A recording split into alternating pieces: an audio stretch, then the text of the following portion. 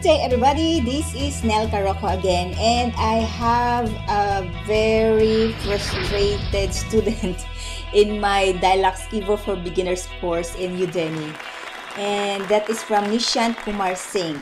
And Nishant said, while calculating bath area, my target value is 200 lux and achieved value is 236 lux, but still showing red color.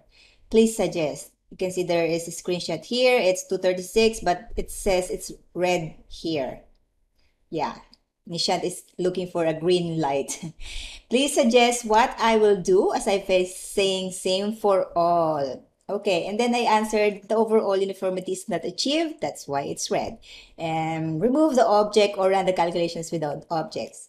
So how to do these suggestions, I will show you how in my Dialux Evo here. Okay, so I have a simple uh, toilet here. Yeah, it's a simple one. And I have lots of object here.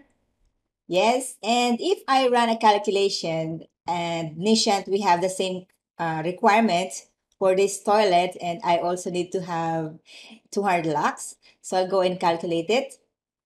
There you go. And let's see the value here. Yes, I also got red light, like it's a red one. So it means I did not achieve the overall uniformity, but I achieved the lux value, which is 240 lux. And you can see it's only 0.29. That's why it's red. Okay, so how to make it correct in your calculation report, even though you still have object here, all you need to do is go to these settings.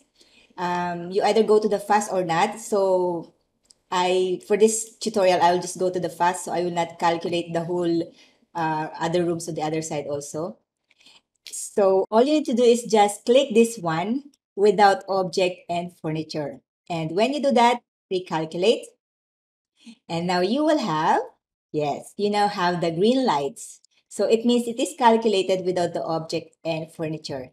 The reason why the over uniformity suffers is because you created a lot of object in the calculation areas and that may cause a zero on the report and if there are zero, it, it's calculated as an overall, as an average. So you will not get the overall uniformity correctly and you will get a red light. So that's the best way is, yes, calculate it without objects and furniture. All right. So Nishant, don't worry about it. Go and just click that calculation without object and you are good to go.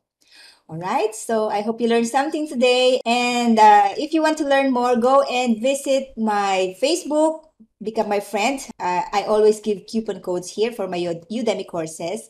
And also check my Udemy courses about uh, Dialux Evo software, AutoCAD, um, Photoshop, and other applications for lighting design. All right, I will upload more courses later on because I'm just busy with something else.